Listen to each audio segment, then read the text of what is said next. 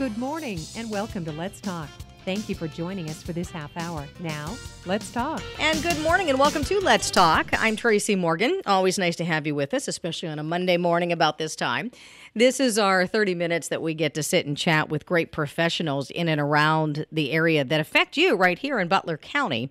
And today is our day with Compassionate Certification Centers. And of course, we have the one location in downtown Butler. So eh, we've been talking to them for the past few months. It's always great to have them on again, and we'll do that in just a moment with Ken Schultz. But let me first give you the rundown of how you can listen, because I know that you do have us on the radio. Uh, of course, you have us online at WISR680.com. You can get us on your Alexa powered device, or you also have that free app that you can download to your smartphone. So once you have that, it's fine. You can listen to us mobile on your mobile device that way. So whatever is good for you is good for us. We do have the podcast of the day, and this will be it and you would get on our website to find that after we're done. So give us just a couple of minutes after we're done, and it'll be all set. All right, let's do it. Ken Schultz is with us today with Compassionate Certification Centers. He is the National Sales Director with CCC. Hello, Ken. How you doing today? It's nice to talk to you. I'm staying dry, Tracey, but I'm doing well. Yeah, right? How are you? staying indoors. We're not taking class outside today. Not without an umbrella, right? yeah, right, right. So, okay. So we've talked to you many times, uh, or compassionate certification centers, and knowing that you're you have many locations. We have our location. We can claim your location right here in Butler, and it's always nice to be able to to go inside and get information. But it's always that walk across the street to get in there that I think people hesitate a little bit because this still seems to be a new topic for us. Do you still find that people come in and they just don't know what to even ask? Very much so. You know, it's um, it's. I think it's going to be that way for quite a while, and that's why we do things like this with you. You know, we want to make sure that people do feel comfortable going across the street. You know, it's uh, it's not Frogger. Don't be afraid. Yeah. come on across the street and, and come talk to us. Uh, but you know, with medical cannabis being what it is right now, and still having a little bit of a stigma attached to it, there there is a lot going on where people are afraid to come out and want to come talk to us and find out if it's right for them um, whether it be from judgment from within or judgment from family members or friends, where they feel like, hey, maybe I shouldn't touch that just yet. But we're here to tell you that, hey, it's safe. You know, medical marijuana and and CBD in particular are a couple of the options that we have available for you that are absolutely dropping that stigma and starting to show that they really are medicine. Ken, let's talk about you for a moment because we have talked to different representatives from compassionate certification centers before, and first time we got get to talk to you as the national sales director. What interested you in this kind of work? What's your background that you thought this was a great fit? Well, it's interesting actually. Um, you know, I never in a million years thought I'd be in the marijuana industry or cannabis industry you know, I grew up a military family, and I was taught at a very young age that you know drugs are bad, and this was marijuana was one of those drugs that that my family would point to, and say, hey, that's bad. So, you know, me being uh, a good son, well, not always, but you know, I'm gonna I'm gonna claim generally speaking, right? Yeah, right. but you know, being the good son and being the a good student, I always said, okay, well, I'm told not to do that, so I'm going to go ahead and stay away. But what ended up happening is, you know, through what I used to do, is I I went into the health and wellness industry, and through health and wellness, I started learning how to help people with what I call preventive care. So I was a nutritionist. I would help people with their diets. I would help people understand their, their metabolism to get the most out of their bodies and to not only lose weight but to feel better and have more energy throughout the day. So I had a lot of clients that I would work with that, you know, I would I would work them out physically and I'd also work them out um, mentally, in order to just overall have a better quality of life. And so through that, I kept on doing research and I kept on learning more and more and more about different aspects of how medicine was moving forward. So we, I can make it available to my patient or to my clients. They're really not patients. I'm not a doctor. I don't want to misspeak. We have plenty of those in our in, in our company. But through that through that journey and through that time that I spent working with clients, I started to hear more and more about cannabis, cannabis this, cannabis that. Uh, and then what what ended up happening is, um, I don't know if this is a shocker to you, not Tracey, but my own wife, Melanie Kachi, who is the CEO of the company, she, being a chronic pain patient, she found relief through cannabis. And so it was a natural transition for me to jump on board with the company. Uh, I'll be honest, I really didn't want to, just because you know working with your wife can sometimes be uh, a bit of a challenge. But she really does complete me in the ways that that in, in a fashion that I I can't, and I think I do the same for her. And so we when we started the company with Dr. Bryan Doner, we really started to to see results. You know, we started to see results across stages across the country whenever we started to research what medical cannabis actually was and how we could help bring it to the Pittsburgh area. So, you know, my job initially, whenever I came on, Melanie had asked me to come on and help with the conference. So I came on and I got the opportunity to travel around the country. I'd go to different conferences, um, Las Vegas conferences, San Diego conferences. Uh, you know, I got a chance to go see some of the industry leaders at the time and to really see where they were at and to see where it was going and to see how we can plug ourselves in and really help move it along and make sure that the transition from medical cannabis to the Pennsylvania area would be as seamless as possible. So I was first tasked with doing a lot of the sales for the World Medical Cannabis Conference and Expo down at David L. Lawrence Convention Center. We had our first one was 2016. We had our first one. I'm sorry, 17 was our first one. 18 was our second one. And so prior to me being involved with the CBD and helping the patients on a one-on-one level, I did that. I helped to bring everybody into the Pittsburgh area in order to educate the patients in the Pittsburgh area about medical cannabis and CBD. And then over time, as we started seeing patients, we made CBD part of our treatment plans that we were putting in play right there inside the office.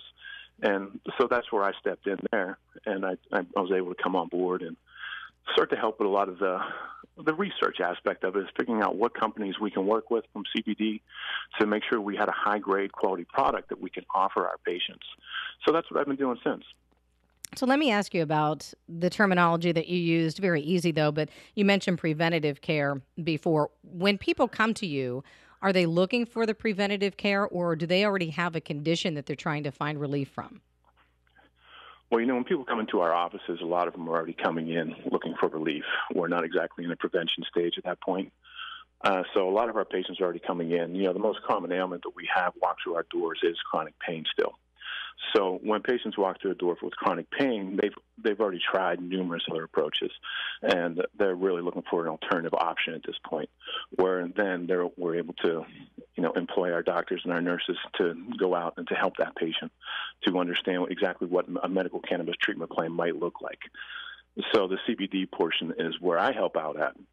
Is you know I give our doctors and our nurses the tools they need to make sure that the CBD that we're able to offer inside our offices are in fact safe, are in fact high grade, high quality, and what's in our tinctures and our capsules. Uh, we want our doctors and our nurses feeling comfortable that exactly what it says in the bottle is exactly what's inside there. So that's a lot of how I help out with that process.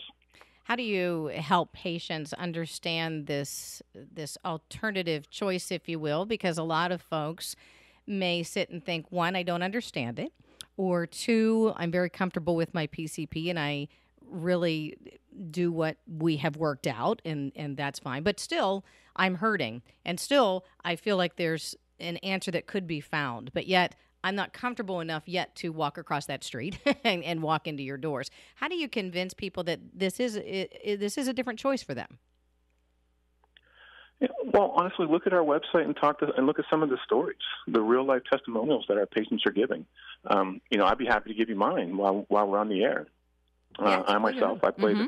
a little bit of contact sports in my day, and now that 40 is here, my body's telling me that it's uh, it wasn't exactly the best thing for me. So you're feeling I it now. with a lot of pain myself. yeah. Now, about three years ago, if you'd asked me how I treated that pain, I I had ibuprofen, I had aspirin, Tylenol. I had all those over-the-counter drugs that you know I might as well put them in a Pez container and walk around with them because mm-hmm. that's what I was doing. And over time, that's not healthy for your liver. So we know that. You know, that's something that we that we've learned, and we know that too much of that is, is poor for our livers, and, and it may help with the pain temporarily, but it's not helping us long term. Now, three years ago, I started using CBD.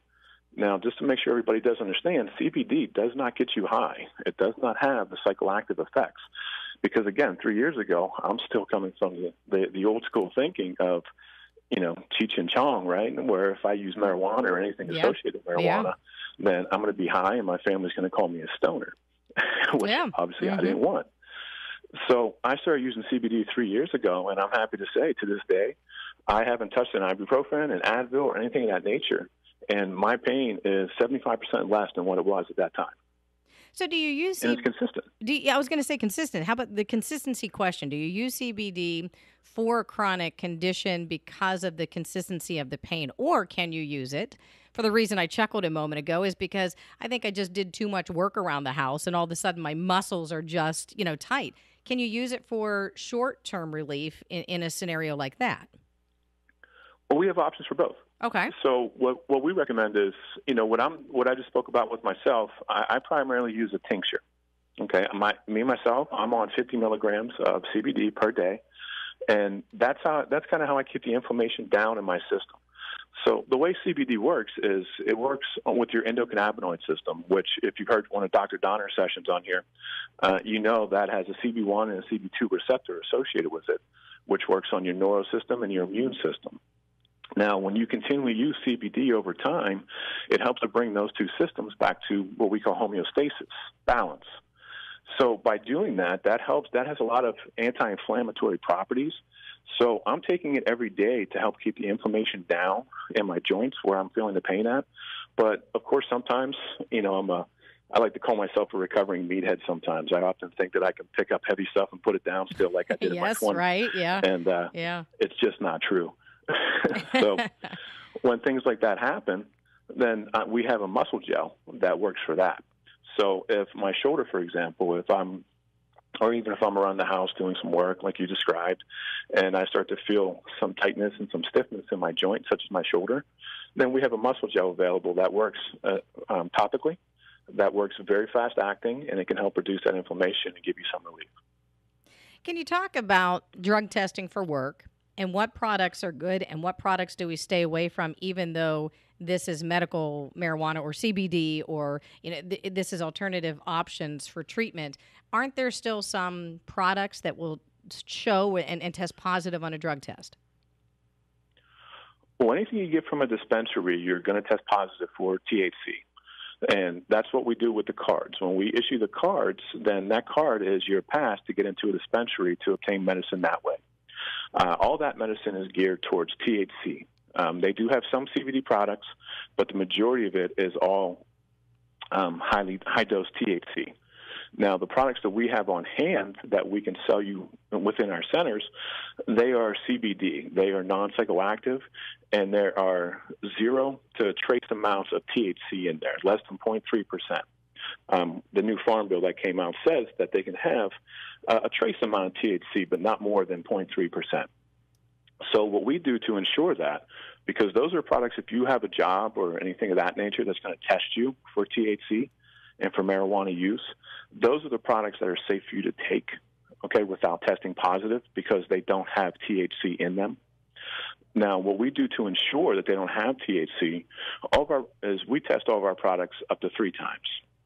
So before the product even becomes the product, the the extraction process takes place, and it's tested there to see if any THC is left behind. And then once they have that product go through the extraction process, where they're getting out the cannabinoids and, and everything that, that creates the, the medicinal value of the plant, then they put it into either a tincture or a capsule or a muscle cream, um, whatever it may be, then that product gets tested again to make sure that no THC made its way through. And then what we do here at Compassion Certification Centers is once we receive our batch, the stuff that we're going to sell to the public, we do a blind test. So we take a random bottle, a random tincture, uh, we remove all the labeling, and then we have another lab that we send it out to to test and make sure that it is A, THC free, and then B, we want to see what kind of percentages of other cannabinoids are in there because CBD is the one we talk about most often. But our product is what we call broad spectrum, which has not just CBD, but CBG, CBN, uh, a couple other cannabinoids that, that can help with your ailments as well. Ken Schultz is with us, a national sales director for Compassionate Certification Centers. Of course, we have our center in right downtown Butler. And I, am glad you're explaining the system that you all go through to make sure that your products are good because I want you to explain, if you don't mind, that not all places, without naming anybody in particular, but not all places are testing like you were testing. So if you're going just anywhere, you're not really getting the the real stuff, are you? Or is there just a trace amount? I mean, why can why can everybody just sell this kind of product? Well, this is the fun part about the industry right now. You know, we're going through a, a whole other level of a green rush. Um, just to talk about the business perspective for a quick second so everybody understands. Um, hemp-based CBD is projected to, or hemp alone, is projected to be a $22 billion industry.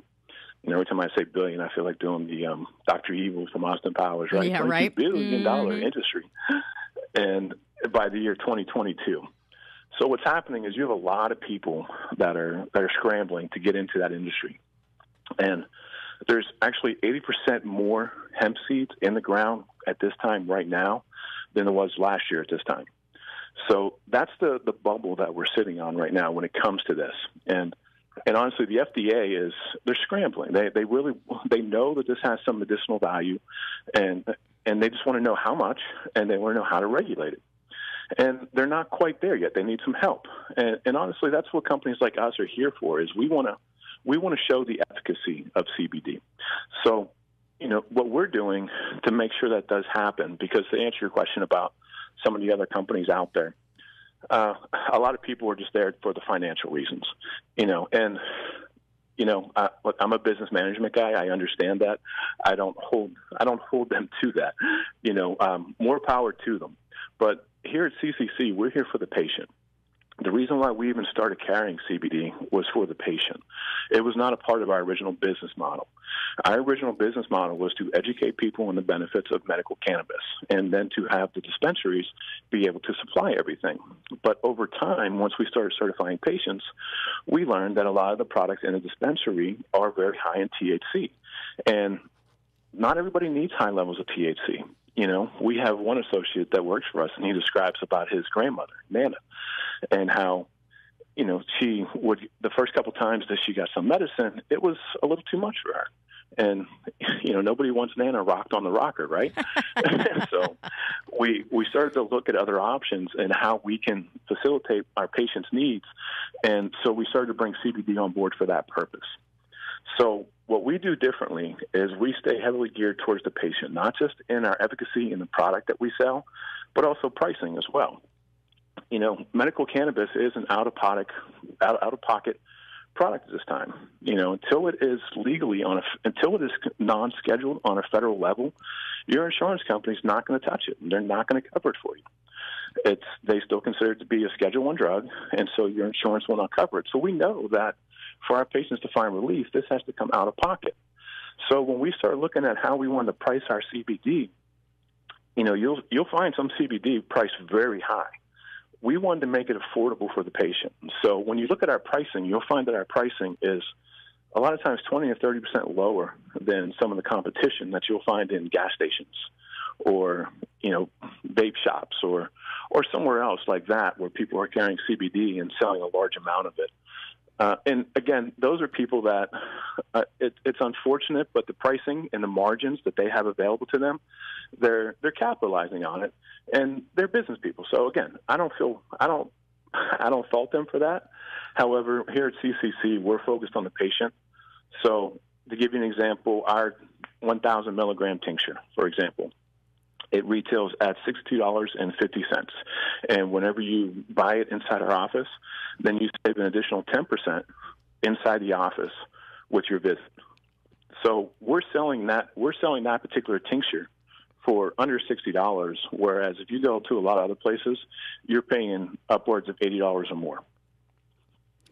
So it's interesting that you go through a rigorous testing progress process, but at the same time, as a potential patient or client, I should say, it, it gives me peace of mind to know that you are caring about your products so much that you are testing them and going through that process for me to be able to be assured that I'm getting what I'm buying, even if it's at a 10% discount. So I think it's a great thing that you were explaining the process that you go through. Let me jump on something that you you said only because it, it brought to mind a conversation that I was talking uh, through with with a woman. She, I don't know her scenario. That's the problem is I can't give you her whole scenario, what's in her life, what she takes. But she had said she she took CBD and she goes in a sense that was a little too much for me. You know, back to that comment that you made where it was a little too much for someone.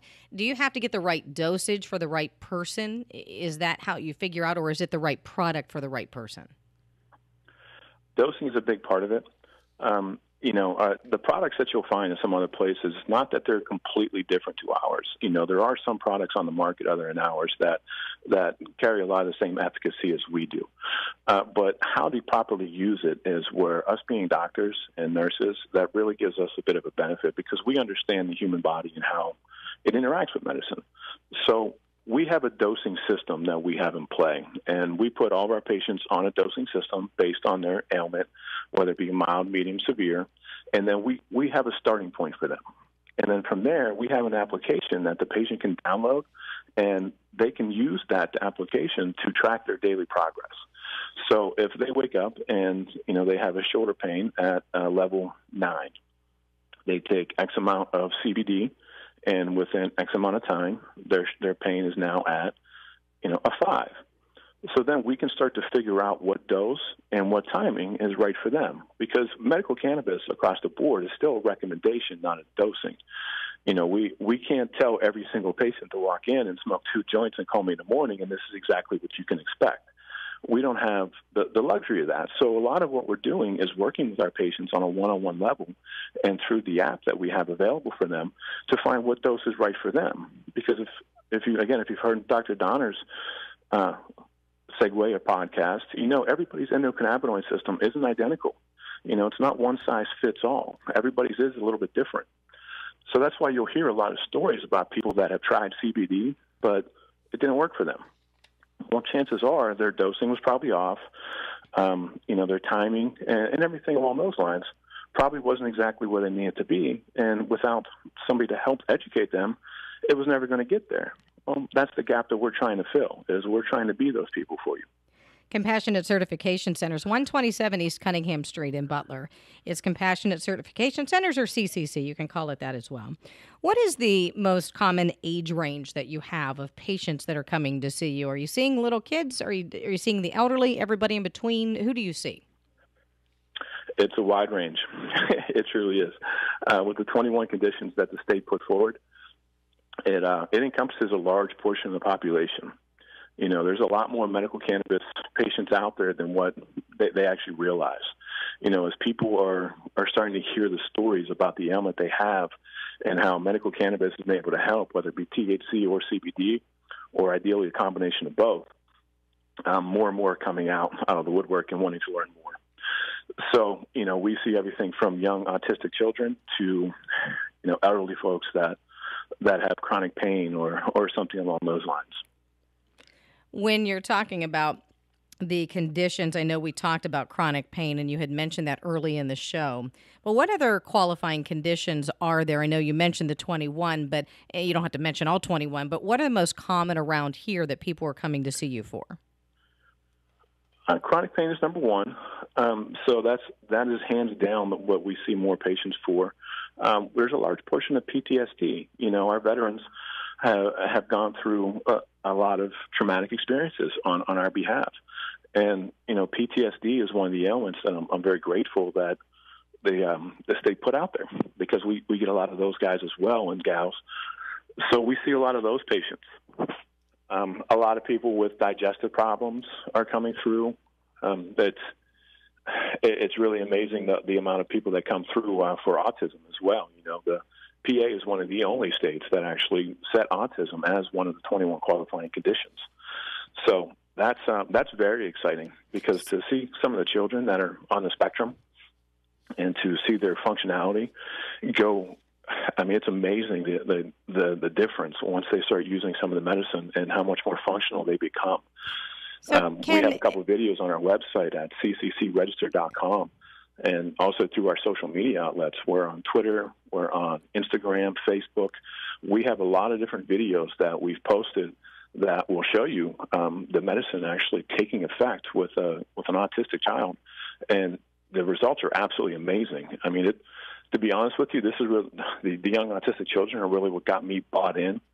Um, you know, when we had the conference and I started seeing some of the young kids walk across stage and tell their story and tell their, their how their quality of life has improved. You know, that's one of those things that uh, it'll get me every time. Absolutely. So, well, and, and Ken, you know, there's there's 21 conditions. Well, when you mentioned the 21 those conditions, are some of the top Ken, ones right there. Yeah, when you mention those 21 conditions, do you are, are you meaning that every state has a different list of conditions? Absolutely, yeah. Yeah, every medical marijuana program is on a state by state basis. And so it's up to the state government to lay out these conditions. So what happens if we come to you, we're you certify us or get us the card or what, and, and we're a patient of yours, and then we go on vacation?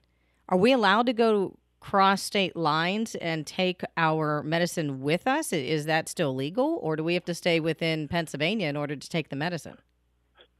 With the THC based medication, you do want to stay within Pennsylvania, or you want to reach out to the state you're traveling to and see if they have reciprocity to see if they will accept your medical card within that state. Some some states do, some states don't. Uh, that's something that you want to do a little bit of research on before you go, uh, just to be safe. And then you would have to purchase that medicine inside that state you're not allowed to take uh, any kind of medical marijuana across state lines at this time. Oh, that's a very good point too. So let's just say we're. Well, I don't want to name a state because um, uh, they may not have what you're talking about. So let's just say we go across state lines. So you're saying we would have to plan ahead to purchase it where our destination is going to be. Which is important to know because if you're driving, if you do a road trip and it takes you two or three days to get to your destination, you may be in different states along the way. Absolutely. Yeah, it's um it's it's still not where we want it to be, the program. And, you know, we're waiting on it to be federally decriminalized, which will be ideal for our patients. Uh, so so at this time, you know, there are still some some downfalls to the way the program works. But what we're finding though is that uh, a lot of the other states are starting to share reciprocity, and which is great because it's um, you know, we're well past the tipping point now. There's more than uh, we're roughly around 30 states that are medically legal throughout the country, so we're we're past that halfway point. So we're well on our way to getting all 50. Uh, but until that does in fact happen, though, you you just have to plan ahead a little more. And there's that's the about the last traces of the stigma that are still left on this. Uh, outside that, you know, it's we're we're able to help a lot of people. We're able to get a lot of the patients here in the state of Pennsylvania some relief that otherwise they weren't able to find. Ken Schultz, the National Sales Director, with us with Compassionate Certification Centers. There are many different locations throughout, I say the area, Western PA, but uh, 127 East Cunningham Street is our location right here in Butler. So if you're thinking about doing this and you want to give them a call or look them up on the website and then go head to the office, it's 127 East Cunningham Street in Butler. And Ken, we really only have about a minute left with you, but I just wanted to ask you your final thoughts, what you want to leave with us today about Compassionate Certification Centers and CBD. Uh, if I was going to leave you with anything, I would say to uh, not be afraid to cross the street. I guess I'll leave it with how you started it. You know, when you come into one of our offices, which you can expect, um, I'll tell you right now, our staff is fully prepared to to handle any kind of questions that you have when you walk in. They are fully trained to to deal with any kind of emotional state that you may be in when you walk in. Uh, a lot of our patients walk in looking for one of two things: either empathy, because they truly are at the at their end of their rope. You know, they're they've tried everything they can try, and they just want some relief. And medical cannabis offers some opportunity for that you know, if we're able to get that person the relief they're looking for, then we've done our jobs, and we're extremely excited about it. And other patients come in with that other, with just that excitement. You know, some patients that walk into our buildings are so over the top excited because, you know, if I'm being honest, a lot of them have been self-medicating with with cannabis for quite some time, and you know, a lot of those patients I know they're out there that are probably still doing that, and that's that scares me a little bit, just because and I'm not gonna lie. One time, whenever I was younger, I remember walking through Monroeville Mall, and I had tried some cannabis that a friend had given me. Uh, I guess I just gave up my good student aspect there. Yeah, right. it was bound to happen at some point, right? But I had a really bad experience, and I stayed away from cannabis for 30 years. You know, I didn't touch it. I absolutely stayed away from it. And some of the stuff that the that our patient that our possible patients are out self-medicating with, we don't know where it's grown. We don't know how it's processed. We can't track it from seed to sale like we can here within the state program. So we're here to help you find absolute relief. You know, when when you come into our offices and you see one of our physicians and talk to some of our nurses and our staff, we're going to find out what's right for you. You know, we're not going to find out, you know, what Joe Schmo down the street has that might help. We're going to tell you the different strains that are available. We're going to get you set up so when you go into a dispensary and you talk to the pharmacist on hand, they know, they understand what you're going through and they understand whatever your ailment may be, and we can guide you towards the right product and the right strain of cannabis that's right for you. Ken Schultz. And what we find yeah. is that some patients they don't need that the THC as well. So inside our offices with the CBD, we can help you with that as well. If that's what happens to work out for you based on what your ailment, then we can get you started on that immediately as well. Fabulous. So Ken Schultz. Don't we, be afraid. Cross the street. Absolutely. Cross the street. Compassionate Certification Centers. And we're saying cross the street because if you know 127 East Cunningham Street, you know why we're ta- talking about that. So it's 127 East Cunningham Street, Compassionate Certification Centers. Ken, thanks so much for joining us. We appreciate it. Absolutely. I appreciate it, Tracey. Have and a great day. You too. And folks, if you would like to listen to this again, it is on our website. It's WISR680.com. Go programs, Let's Talk, and then look for Compassionate Certification Centers. I'm Tracey Morgan with Let's Talk. The information and opinions shared on this program are solely those of our guests and do not necessarily represent those of WISR, the Butler County Radio Network, or its staff and employees.